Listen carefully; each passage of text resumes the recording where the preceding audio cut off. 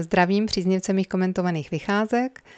Rok 2022 je za námi a tuto malou fotogalerii bych chtěla vzpomenout některé jeho krásné okamžiky. Zároveň bych tak chtěla poděkovat všem, kdo jste na vycházky chodili. Díky vám jsem se tak mohla i v loňském roce věnovat moji práci, kterou miluji a která mě baví již dlouhých 25 let. Stejně jako v roce 2021 i v loňském roce jasně vedli mimo praští návštěvníci před Pražany. Nejvíce vás na vycházky jezdilo z Moravy a kraje středočeského. Výraznou změnu jsem zaznamenala v nárůstu soukromých vycházek. Mám skutečně radost, že si pomalu začínáte zvykat, že soukromá vycházka není jen pro cizince, ale i pro vás.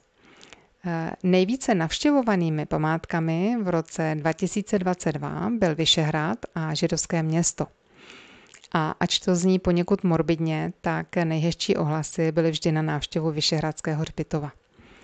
Eh, loni došlo k lehčímu poklesu zájmu o návštěvu Pražského hradu. Eh, vzhledem k tomu, že jde o jednu z našich nejvýznamnějších památek, eh, tak mě mrzí, když vidím, že o prohlídku hradu mají daleko větší zájem zahraniční návštěvníci než ti čeští. Ale snad se to v novém roce změní. Vycházka bude nově rozdělena do dvou částí, aby nebyla tak dlouhá a mohla probíhat v klidnějším tempu. První část bude věnována historickým budovám areálu, druhá pak nově zahradám Pražského hradu. Na ty se moc těším, protože jejich součástí bude prohlídka celého jeleního příkopu, který byl dlouhá léta uzavřen.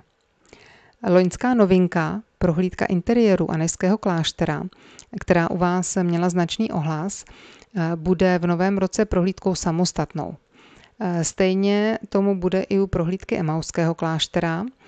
Eh, jde o významné objekty, kterým bych přeci jen ráda věnovala větší pozornost, což nebylo možné, když byly součástí velkého okruhu.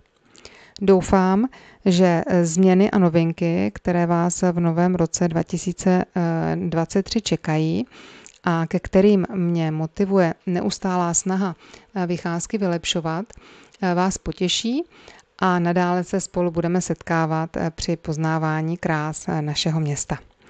Těším se na vás.